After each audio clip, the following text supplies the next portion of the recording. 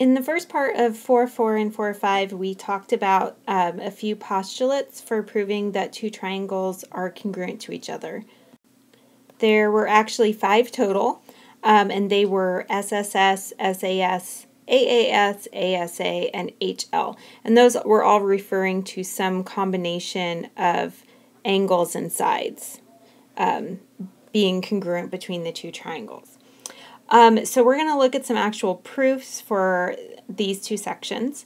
And about half of the proofs are going to ask you to prove that two triangles are congruent. So it's going to be a lot like the exercises we did on the worksheet. It's just that you're going to actually have a two column proof and explain what you're doing as you solve the problem.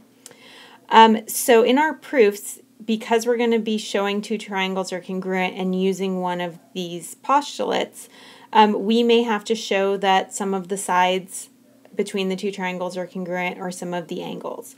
Um, so I have some tips on things to look for in a picture um, to tell if you can maybe say that a couple of angles are congruent even if it's not given already.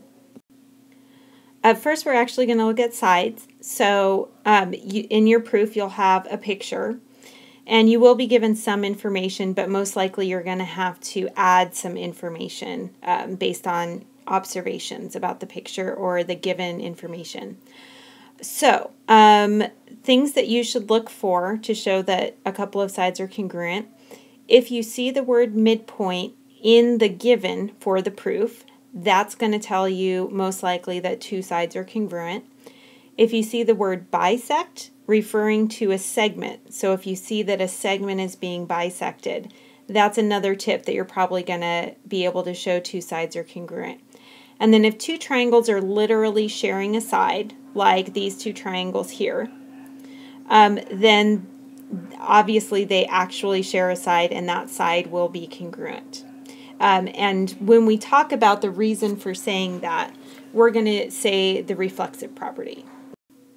The reflexive property basically says that a line segment is congruent to itself. So that will be the reason, and I'll show you what that looks like when we actually do one of these proofs. Some things you should look for with regard to angles. Um, again, if we see the word bisect, but this time referring to an angle, so if we see that the given is saying an angle is being bisected, then that is a clue that two angles, two smaller angles, are going to be congruent to each other. If you have vertical angles in your picture, then you also know that those angles will be congruent.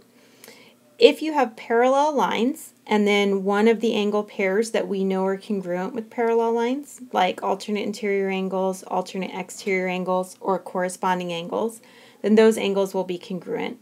Um, and then this one doesn't come, off, come up too often, but if two triangles are literally sharing an angle like in this picture here, um, then we can use reflexive property again with the angle. So there, these triangles are overlapping and they actually um, completely share that angle that's marked. So here's a pretty basic triangle proof. Um, there's some information that's given. We're given that side RS is congruent to side TS, and that's already marked on the picture. And we're also told that V is the midpoint of RT. And we're trying to prove that these two triangles are congruent. Um, so of course the very first statement and reason is going to be the given.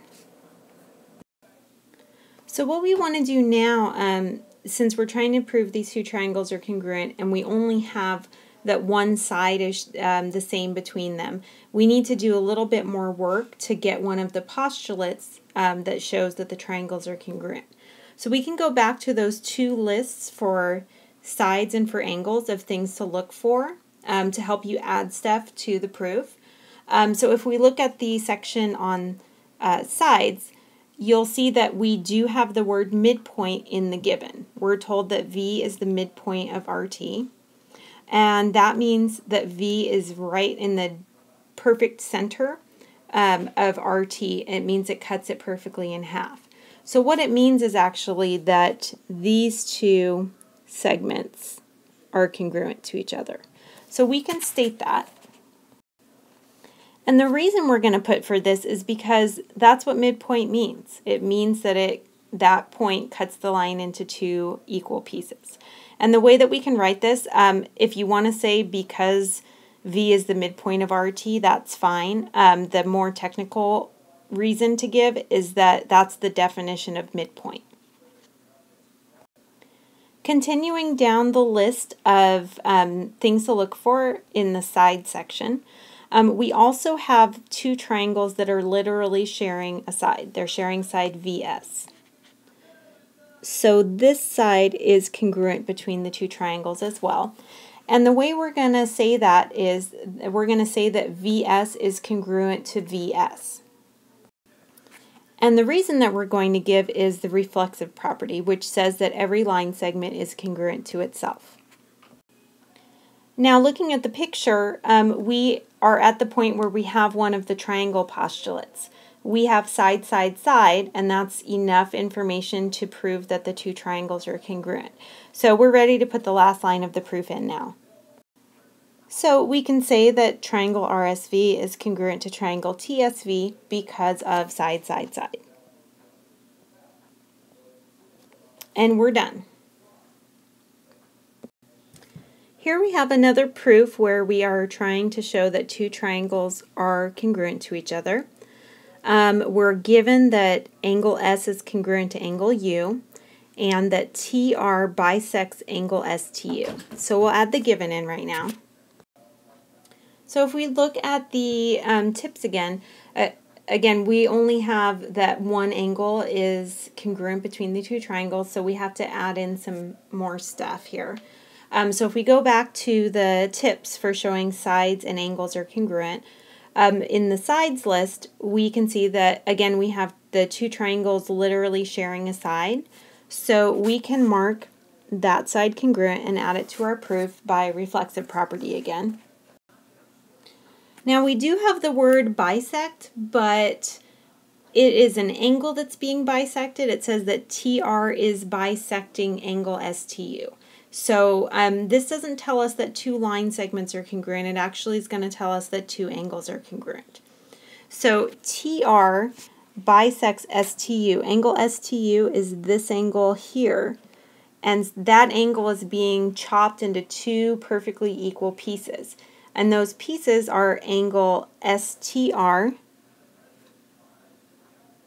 and angle UTR.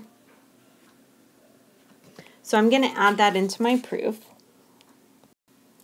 And the reason for that is because that's what bisect means. So we're going to put definition of bisect for this one.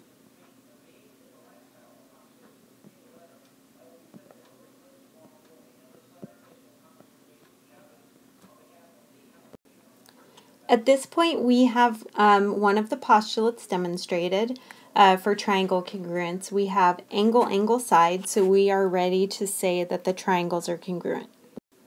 So we can say the triangles are congruent because of angle, angle, side.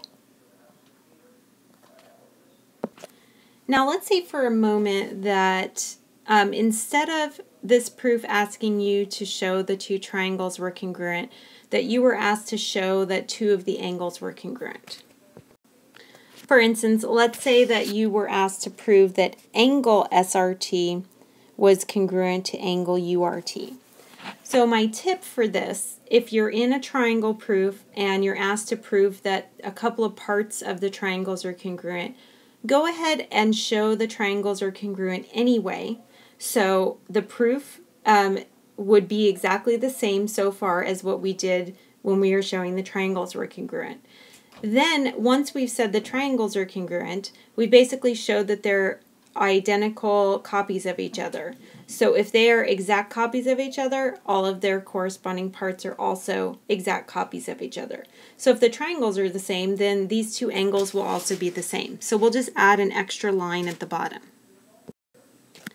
Now, if you can't remember what to put here, you're welcome to say because the triangles are congruent for your reason, and I'll know what you mean. Um, but the formal reason to give is CPCTC. And that is that says that if two triangles are congruent, then their corresponding parts are congruent.